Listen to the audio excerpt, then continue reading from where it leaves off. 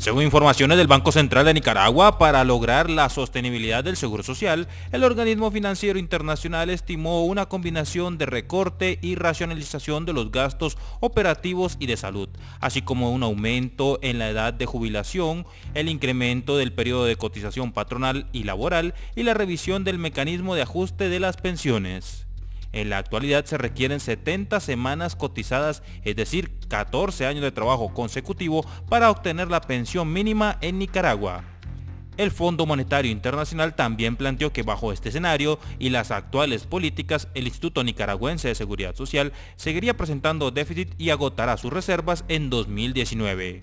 Esta cifra contrasta con las estimaciones que hace un año hicieron las autoridades nicaragüenses, en las cuales aseguraban que el Instituto Nicaragüense de Seguridad Social sería solvente hasta el 2024 pero el sistema de pensiones de Nicaragua y las economías de la región deben de estar también preparadas este año para una serie de riesgos económicos según el director ejecutivo del FMI. Tenemos que estar preparados para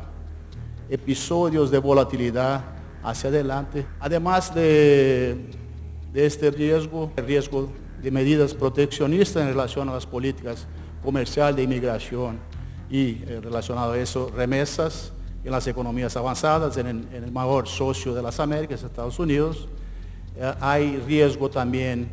en, en, el proceso de normalización de la política monetaria,